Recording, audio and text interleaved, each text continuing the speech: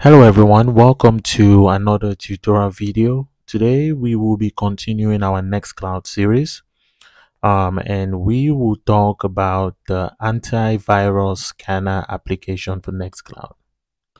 So we have successfully installed Next Nextcloud. We've learned how to um, share our folders. We've uh, mounted some external shares uh, using SMB um, but you want to make sure that when people are uploading files on your Nextcloud server, um, that they're being scanned and um, checked for malware or viruses. Um, so this is where we uh, come to using ClamAV. So if you don't know, ClamAV is an antivirus um, app for Linux, and uh, we're going to use that install that and use that on our Nextcloud server. So in order not to waste time, we're going to go straight into this video. Once again, you want to log in as administrator. And once you do that, you're going to go to apps and you want to search for the antivirus app. So once you search for that app, if you don't have it downloaded already, you're going to download and enable the application. And once that's complete, we want to go into administration services or settings. And now we want to go to um, security. So once you get there, you want to scroll down and find the antivirus for files. So once you come here, we don't have to do anything. We're just making sure that it's installed. Um, you're not going to have any of these settings for now. So we're going to go back to the command line. And at this point, we have to go ahead and run this command to install ClamAV. Unless your Unix or Linux machine already has ClamAV installed, um, you have to do this. So to be safe, you're just going to run this command apt get install clamav and clamav clam dash clamav dash daemon. Uh, we're going to run this as sudo, obviously. And as you can see, it says mine is up to the latest version. If you don't already have this, you're going to install it, follow the prompts, and complete the installation. So once that's done, you're going to type the next command to make sure that it is running. So we're going to do um, system ctl status clamav. So we're going to run this as sudo. So once you run that, you're going to see um, the you're going to see that your ClamAV is running.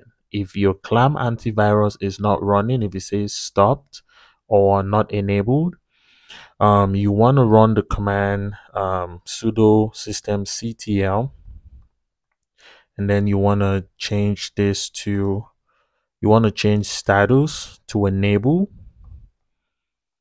and then you run that and once that's complete um, you want to change you want to now do restart okay?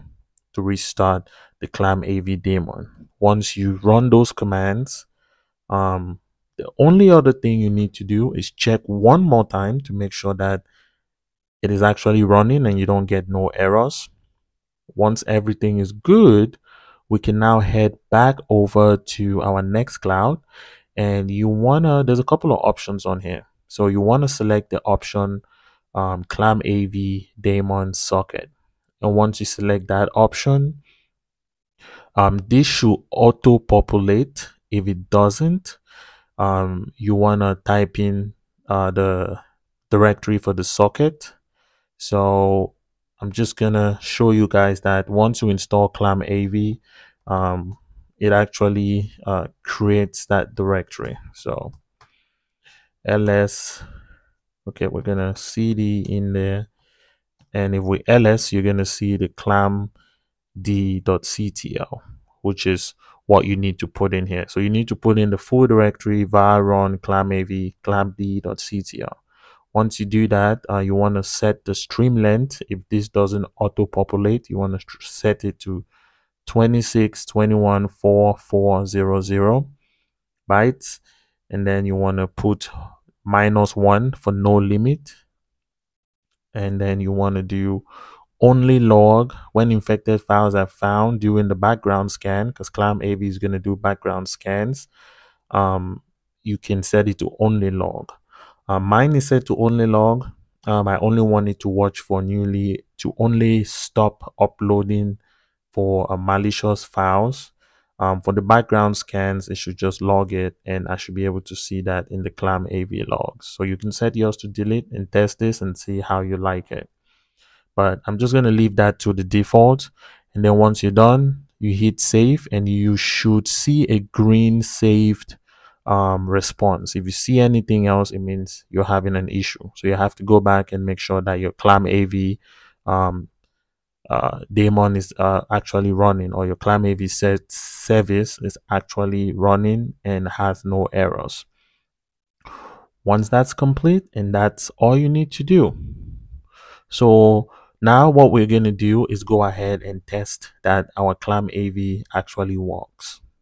So in order for us to test that our ClamAV actually works, um, I went ahead and um, using EICAR. If you don't know about EICAR, you can read about it. It is an open source project. Um, they have a test, some test malware files or malicious files that you can download and do some test, um, some testing in your environment to see if your AV scanner is going to catch this. Um, these are not actual malicious files. These are files that are made to look like malicious files. Um, that way you can do your testing on your own safely. Um, you can use something else if you do have another way to test it, but we're just going to use EICAR because that's easy. So we'll go back to our Geek Together um, Nextcloud. I downloaded the EICAR zip file. So I'm just going to take that and try to upload it.